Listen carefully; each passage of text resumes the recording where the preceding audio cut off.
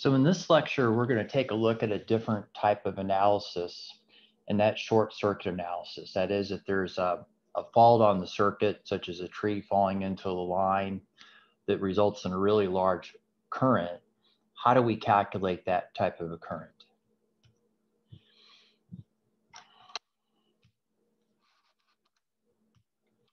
And what I would normally do if I were in class, I would play some uh, videos. Uh, there's some YouTube links I've provided for you. Um, instead of doing that here, um, I'm going to go ahead and just let you guys take a look at this on your own. And it's it's pretty impressive just how much uh, um, how much noise and flashes are, are associated with these different types of events, and it just kind of goes to show just how much power there is in these these distribution circuits we're talking to about even at the medium voltage level. So uh, take a look at some of these, uh, particularly in this first um, video here. You can note that the fault actually occurs at um, one minute 19 into the video, but there's faults in all these different sections right here. And I'm sure there's other videos you can look at as well that would have faults on medium voltage distribution circuits. So we'll start off by just talking a little bit uh, in general about you know short circuits you know what kind of characterizes them for distribution circuits and then i want to review some bus impedance matrix concepts in case you haven't seen this before in a class and then talk about how we can take a circuit and represent it by a Thevenin equivalent at the point of the fault. And then since we're working on distribution circuits and since these circuits are unbalanced and we don't have three phases at every bus, we have to look at a more generalized sort of model rather than using a um, kind of a, just a balanced three phase model. And that's what I'm going to refer to as a phase component model. And we'll talk about um, how we can create a three phase Z bus from this, which was what we're going to need for doing this fault analysis. In the second part, I'm going to go over the different fault types and we're going to be focused on single phase, two phase, and three phase faults. And then I just want to make a few comments about the relationship between what I would call phase components and symmetrical components. And then the last part, part C, I'll go through a few worked examples. So I kind of use the, the term short circuit and faults interchangeably. Uh, faults are generally more what the utility people would refer these events as. And these can be caused by a variety of different things. Um, animal contact is actually one major cause of faults. Uh, particularly when you consider that when you have a device like a, a transformer, and the transformer has a bushing on it, and this is actually the hot conductor, keep in mind that the transformer casing is grounded and so if you get some type of an animal in here and they poke their nose um, on the on the top of that bushing and they're sitting on the uh, transformer tank, which is grounded, they're, and they're going to basically form a path to ground and and not only be electrocuted but but cause a short circuit, which is going to um, maybe result in an outage for somebody.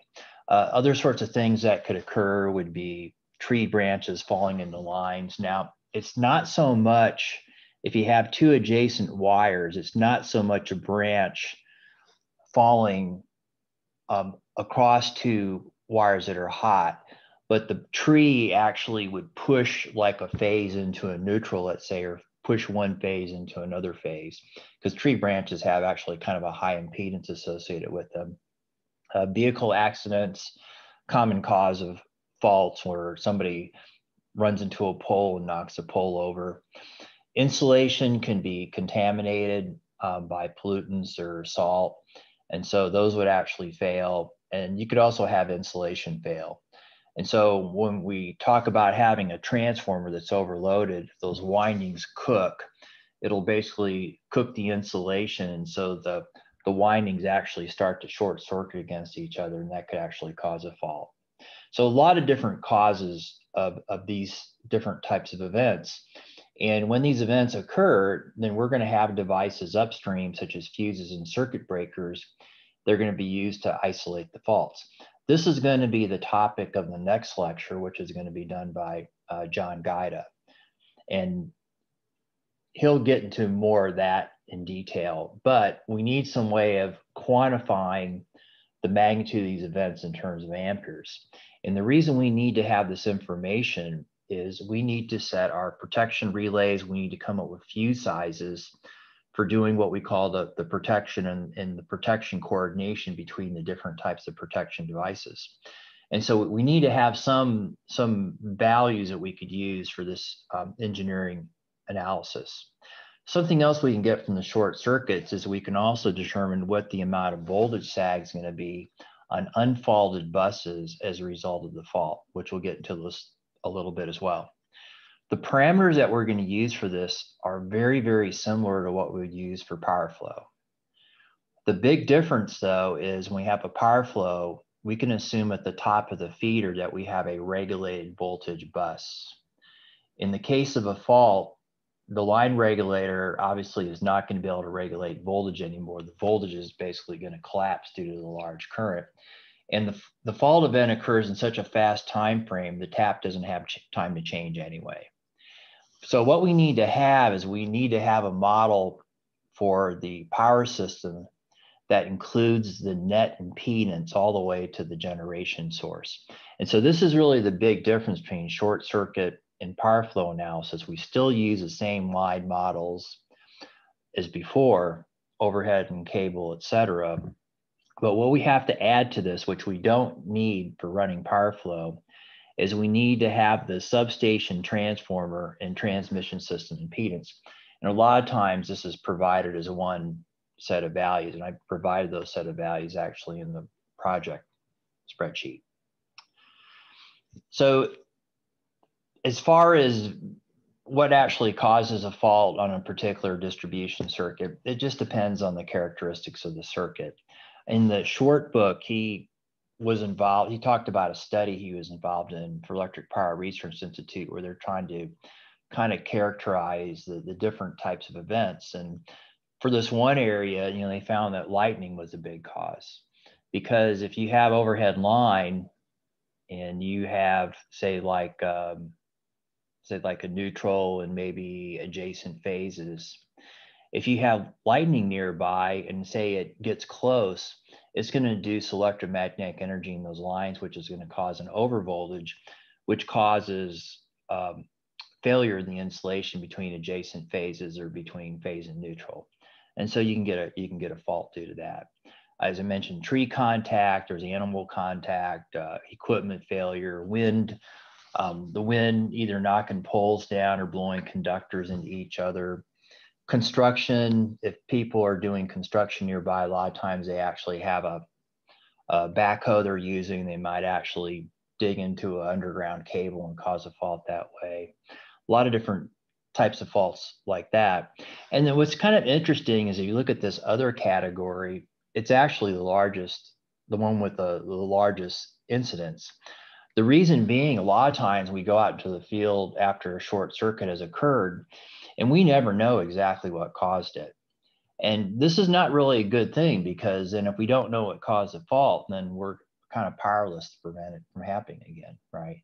So you really want to know what caused the fault so you can you can fix it so it doesn't keep reoccurring.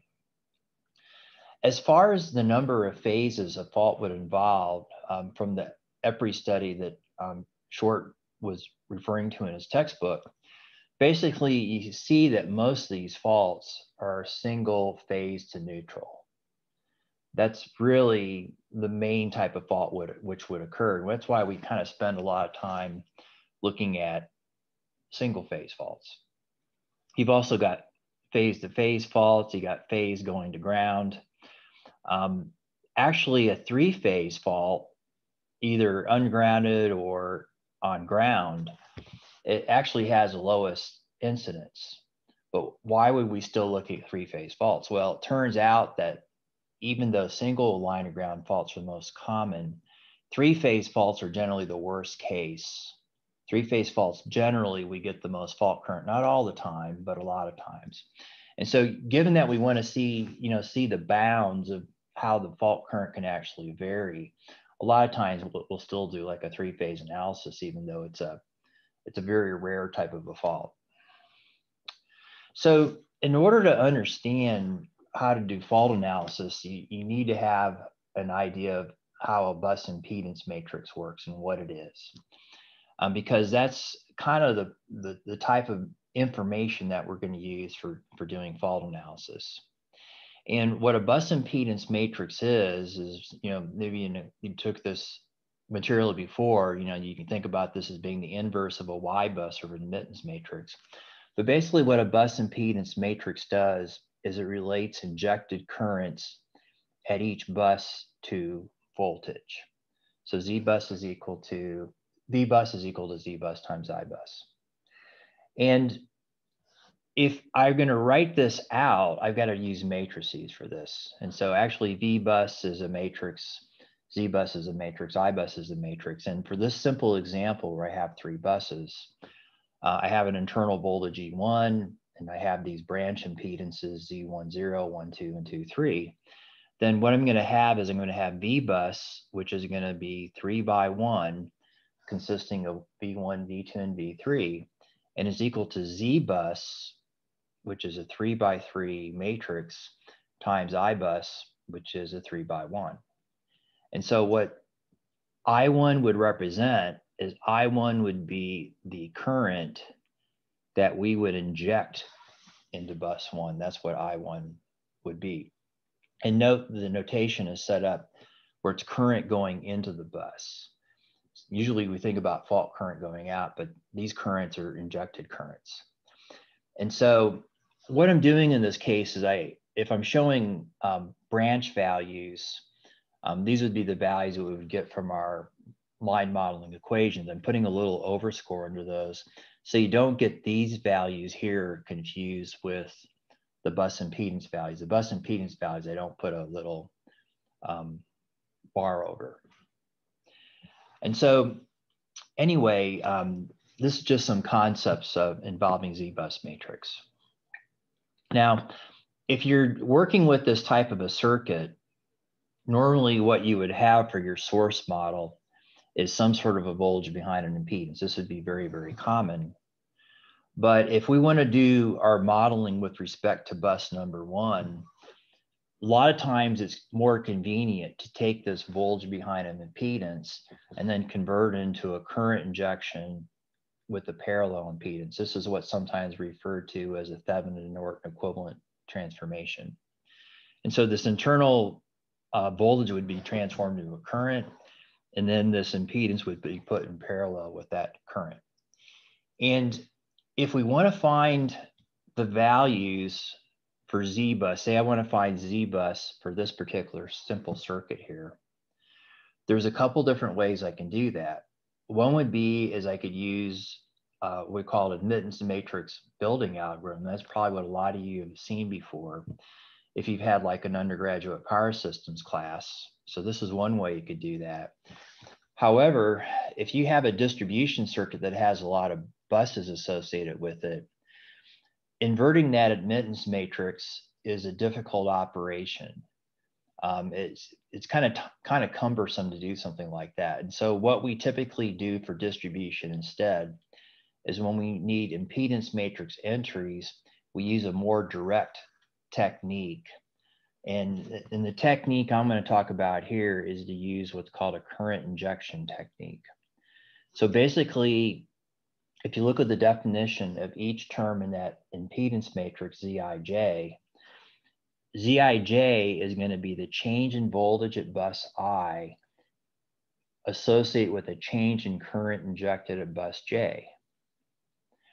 And so if I think about that injection as just being one amps at angle zero degrees, that if I were to inject at bus J one amp at zero degrees, then the change in that voltage at bus I would be the Zij term in a bus impedance matrix.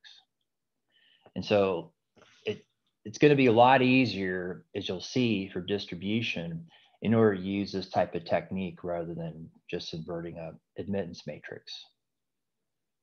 So for this particular circuit that I showed you, for this particular circuit right here, I claim that the Z-bus matrix is, is shown right here. All right, here's my Z-bus matrix. I got three by three. It's symmetric around the diagonal, so I can take the transpose, you know, this term's the same as this term, this term's the same as this term. And what you should see here is you should see a pattern. And the pattern would be is that if I'm starting at bus one, if I basically move up toward the source and I sum up all the impedance, then that's going to be the diagonal entry. The diagonal entries correspond to summations of impedance. And then what the diagonal entries correspond to is what's the common impedance that the two buses would, would have in common with each other. Okay, and we'll see in just a little bit where this comes from. But what you can actually do is you can actually figure out for distribution due to the radial nature of these distribution circuits, you can usually figure out these impedance matrix terms as needed by inspection. All right, so let's just kind of verify that this is going to be the case, and we're going to use this one amp injection method. So let's suppose I've got this circuit and I want to figure out what um, Z22 is, all right? So what I'm going to do is I'm going to go ahead and inject one amp and I'm going to look at that change in voltage at bus number two. If I inject one amp here at bus number two, then the current's going to flow it's going to be flowing through here. And what I'm going to be seeing for the change in the voltage at bus number two is I'm going to see that this is going to be Z10 plus Z12. Okay, so that matches up with what I've got in my little example here. Now, what if I were going to go ahead and inject um, that same amount of current at bus number three. Well, what I, that current would actually flow then through the simple loop. And what I would see for the change in voltage is going to be Z23 plus Z12 plus Z10, which is what I've got right here. If I look at the off diagonal terms, and let me um, go ahead and erase this real quick.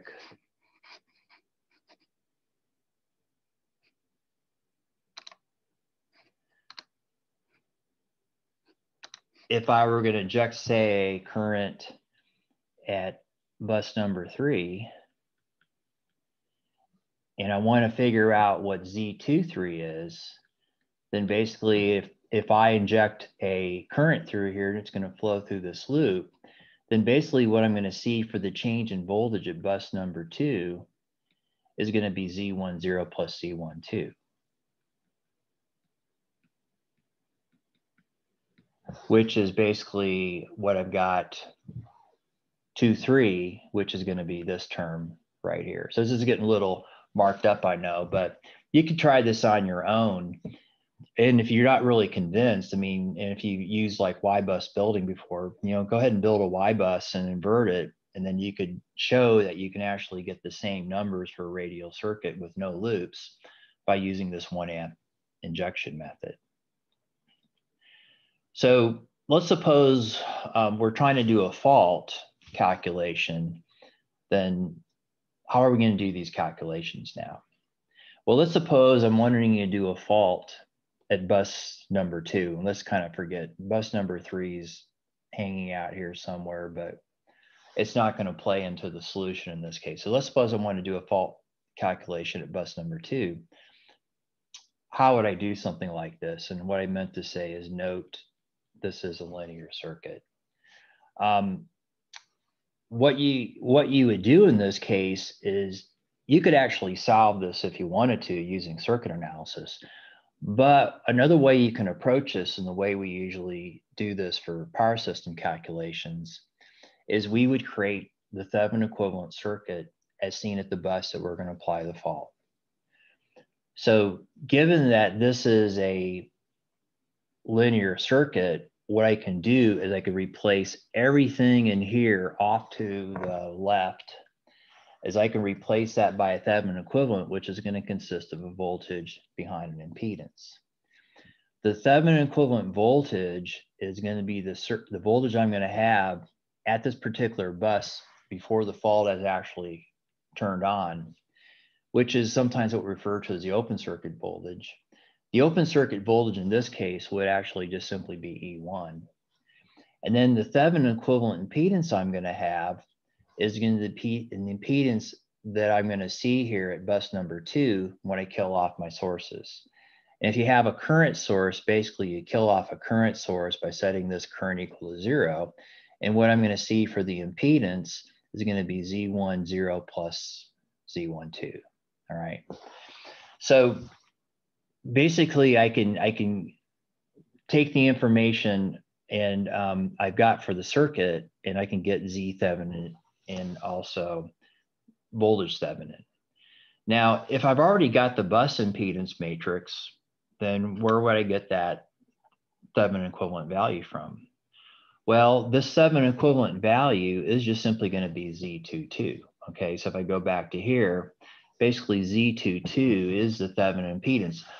For any bus I'm going to do these calculations at, um, the Thevenin equivalent values are just going to be a value that's going to be on the diagonal, either for bus one, two, three, et cetera. And so if I have Z bus, I basically have all these Thevenin equivalent impedances already calculated out for me. And so now if I were going to just look at the fault current, well, the fault current is just going to be the Thevenin voltage divided by the Thevenin impedance. All right. Um, now let's suppose we're working with um, more complex examples.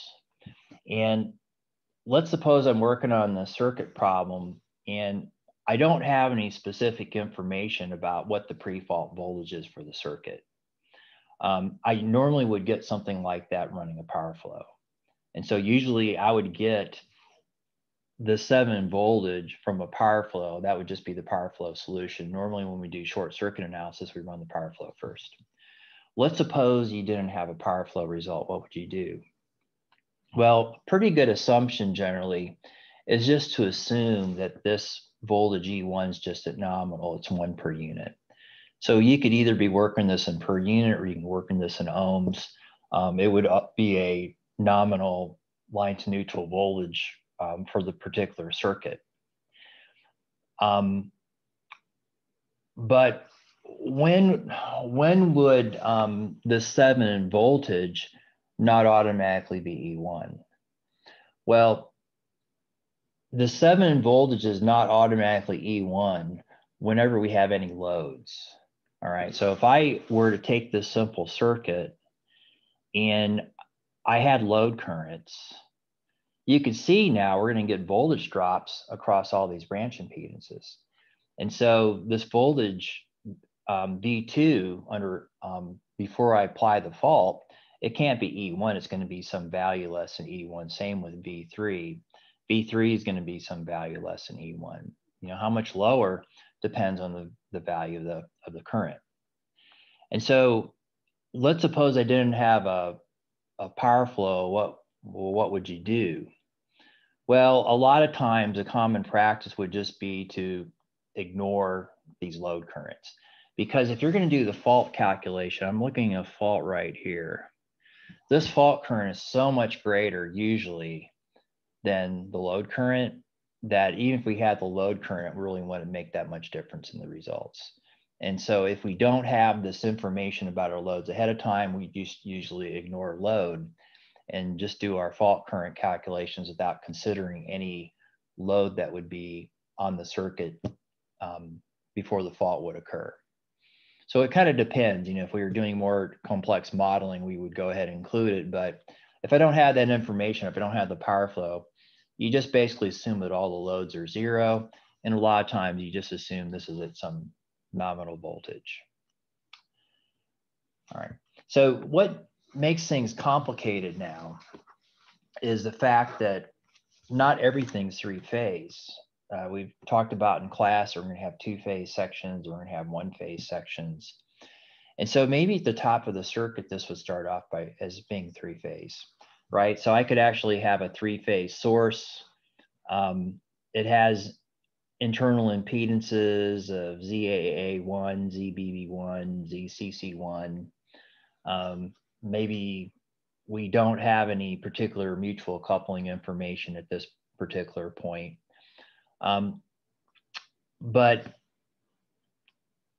what you're going to see later on is you're going to have like two phase sections, you're going to have single phase sections. All right. So, what we're going to have associated with, say, like the source model, is we're going to have a three by three matrix. What we're going to have for the, uh, say that we have a three phase line here, we're going to have a three by three matrix relation. Maybe these mutual coupling terms are, are not going to be the same. All right. So that could complicate our analysis. The fact that ZAC, which is a mutual impedance term, is not going to be the same as ZAB. Um, then what you're going to have is you might have two phase segments, and this is going to be modeled by a two by two primitive impedance matrix, and you have a single phase section. And this is going to be modeled just simply by one by one by one. Um, something else you're also going to see too is the number of nodes we have is not necessarily going to be three times the number of buses. Now, a bus would just be like a connection point between two two feeders, right? And so you, in this circuit, you're going to have like bus one, bus two, bus three, and bus four. There's four different points, for example, that we could place load. However, as far as circuit analysis is concerned, then this particular circuit right here actually has um, a different number of nodes than simply four by four by three. There's not three nodes for each different bus. And so at bus number one, we have nodes 1A, 1B, 1C. At bus number two, we have 2A, 2B, and 2C. But at bus number three, we just have nodes 3A and 3B. At bus four, we just have node 4B. And so from a circuit analysis viewpoint, um, the number of buses doesn't necessarily give us the complete picture.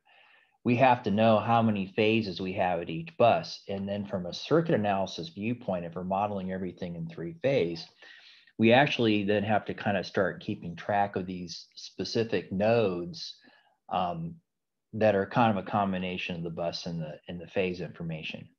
Later on, when we get to working with this other program that we're going to use for uh, distributed energy resource analysis, OpenDSS. OpenDSS specifically works in terms of node values.